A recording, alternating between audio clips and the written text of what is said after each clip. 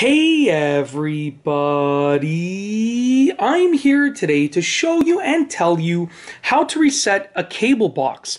This is an easy way to fix a cable box that is not working properly.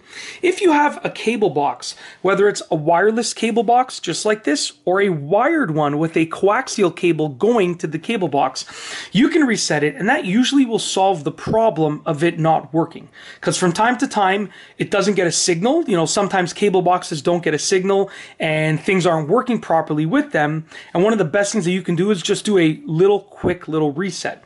So I'll show you how to do it. First of all, you want to locate the cable box and there are likely going to be at least two cords going into the cable box. You're going to have a power cord.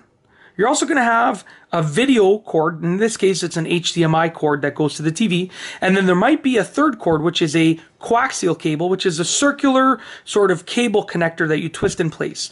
Um, in this case, this is a wireless box, but if yours is a wired box, you're going to have that cable connector as well. Okay. Um, so what you want to do is you don't need to worry about any of the other wires other than the power wire.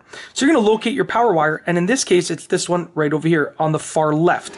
Okay. So I'm going to place the camera down and let's angle it downward so you can see exactly what I'm doing. Okay, so if you want to reset your cable box and just sort of hope that it works properly, because it usually fixes the problem, all that you need to do is find that power cord like I showed you, pull it out, you want to hold it out for about 30 seconds, give or take. And what this does, and as I hold it out for 30 seconds, I'll explain.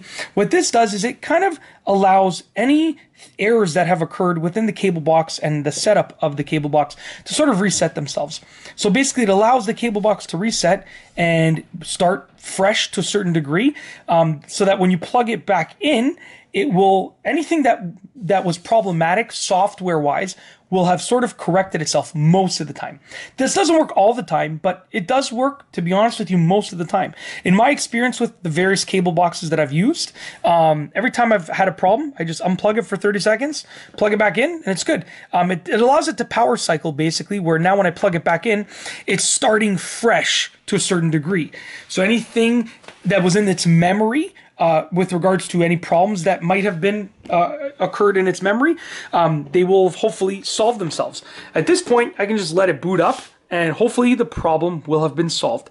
That's it. If you want to fix a cable box that is not working properly, the best thing that you can do is reset it, and that's how, you, how to do it. You just unplug it for about 30 seconds. Maybe you can even leave it for a minute, but after about 30 seconds, it should power cycle, which means kind of like reset itself and start fresh again to not completely fresh. You're not completely starting fresh, but you're starting fresh as in like, it's almost like when you restart a computer to a certain degree.